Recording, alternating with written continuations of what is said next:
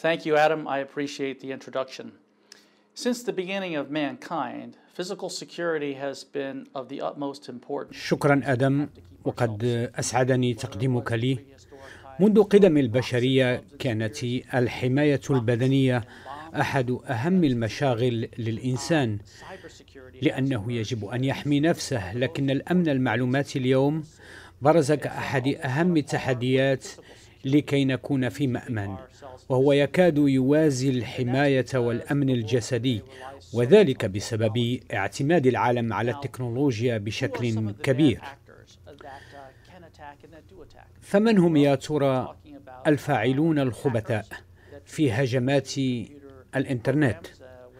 طبعا إنهم المحترفون الذين يستولون على الحواسيب الخاصة ويبتكرون الفيروسات وهم كذلك أفراد الجماعات الإرهابية الذين ينتجون الدمار والخوف عبر الشبكات العنكبوتية.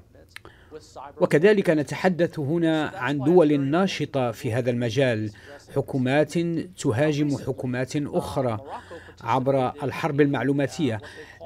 ولهذا فمن المهم أن يواجه المجتمع البشري والدولي هذا المشكل. مؤخرا شارك المغرب فيما أطلق عليه مشروع وارسو للأمن المعلوماتي وكان على شكل مؤتمر من مستوى الوزراء في سيول بكوريا الجنوبية. عقد بين السابع والثامن من أكتوبر برعاية الولايات المتحدة بولندا وكوريا الجنوبية. وشاركت في هذا المؤتمر 46 دولة وتمخض عنه بيان ختامي أقرأ لكم بعضا منه. إن التطور السريع للإنترنت والمعلومات وتكنولوجيا الاتصال قد خلق تطورا وتأثيرا في الاقتصاد العالمي لكنه أفرز مخاطر جديدة على الأمن والسلم العالميين.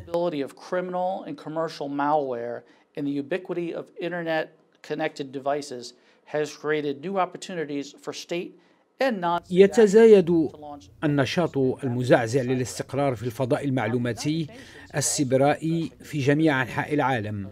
بما في ذلك الشرق الأوسط حيث تتوفر البرامج الخبيثة ذات الأهداف الإجرامية والتجارية وتنتشر الأجهزة المتصلة بالإنترنت. كل ذلك خلق فرصا جديدة للجهات الفاعلة الحكومية وغير الحكومية لاطلاق هجمات عبر الإنترنت.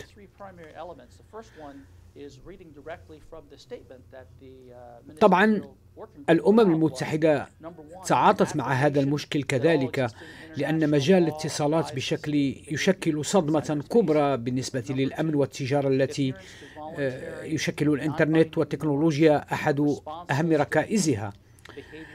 الإطار العام لمؤتمر سيول تضمن ثلاثة عناصر. الأول هو التأكيد على أن القوانين الدولية يجب أن تنطبق كذلك على الدول ونشاطها السبرائي. ثانيا الالتزام بالقواعد غير الملزمة لنشاط الدول خلال فترة السلم. وثالثا تطوير وتفعيل بناء الثقة لتقليل خطر الأمن السبرائي المعلوماتي. فكيف هو موقع المغرب في هذا المجال؟ فحسب Cyber Space Index مؤسسة Global Cyber Space Index والتي قامت بتحليل شامل لمجال الأمن المعلوماتي في ستين دولة. وضعوا المغرب في المرتبة السادسة والعشرين أي بين الأوائل بمعنى أن موقع المغرب جيد جدا. وهذا أمر مهم لأن حوالي 3% من اقتصاد المغرب يعتمد على قطاع ال ICT أو المعلومات التكنولوجية. وهذا استنادا على دراسة أجراها معهد بوتوماك في واشنطن العاصمة. الدراسة منذ سنة 2017 تؤكد أن 58% من المغاربة هم على اتصال بالإنترنت مقارنة مع 14% سنة قبل عشر سنوات. إنها قفزة مهمة. وطبعا هذا بفضل الاتصال عبر الإنترنت عبر أجهزة التليفون والحواسب النقالة الخاصة. ويمكن أن يكون الآن الرقم قد ارتفع مقارنة بما كان عليه. Because as a francophone country and one of the leaders in the, uh, the economic development sphere in the Middle East and North Africa, Morocco is actually home to a lot of وبما أن هذا العدد المهول من المغاربة على اتصال بالإنترنت والحكومة المغربية تعتمد على الأمن المعلوماتي وكذلك المؤسسات والشركات المغربية لمواجهة البرامج الخبيثة. فالمغرب كرائد في تكنولوجيا الاتصالات بالمنطقة وضمن مجموعة الدول الفرنكوفونية توجد به مراكز اتصال عالمية هي الأكبر بالشرق الأوسط وشمال إفريقيا وهو مقر لكبريات الشركات في مجال تكنولوجيا المعلومات والتجارة الإلكترونية ومراكز الأداء الإلكتروني.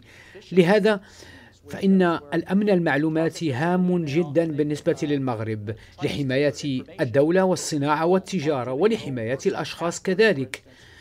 هؤلاء الذين عادة ما يتعرضون لمحاولات الاختراق وسرقة كلمات السر لديهم والمعلومات الخاصة بهم. إذا آدم موقع المغرب في الأمن المعلوماتي مطمئن ويعمل مع المجتمع الدولي في هذا الشأن.